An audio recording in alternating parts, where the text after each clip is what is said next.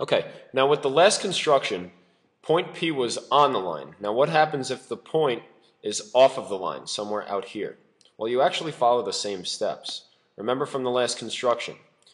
You go, you put your compass on P, and then using any convenient arc length, let's make it a little longer, we're going to draw two arcs that intersect this line at two points. So in this case, we have this arc,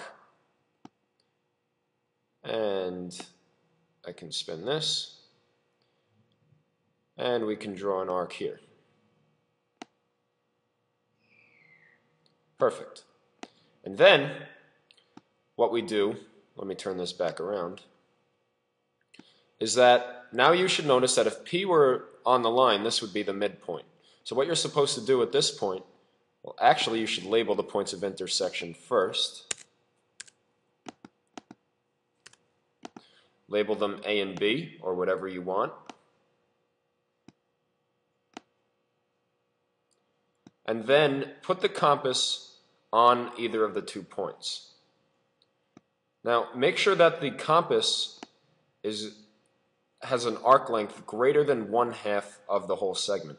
Well, here's half the segment, so it's definitely greater than that. And then from each endpoint, so from A, you're going to draw an arc up here and down here. And from B, you're going to use the same arc length to draw two arcs that intersect the two you just drew. So above the line, let's draw an arc from A and do the same thing under the line.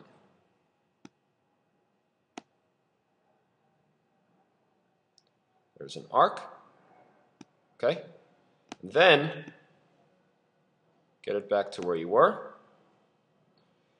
You can flip the compass, put the point on B, and then using the same arc length construct two arcs that intersect the ones you just drew for A. And as you should always, label the points of intersection. You can call them whatever you want. I'm going to call them X and Y. We'll put X up here, Y down here. And then you should be able to draw a straight line that goes through point X through point P and through point Y. So I will do that. I'll start from X. Should go through point P, through point Y. It's a little off, so let me just move it. That's what happens when you use a computer, I guess. There you go. And then just make sure that you have arrows on both ends of your line. You don't want to lose points for something silly. There you go.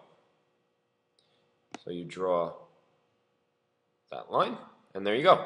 You have line xy or xpy that is perpendicular, perfectly perpendicular to the original line. And if you wanted to, you could take a protractor and see all of the four angles will be 90 degrees.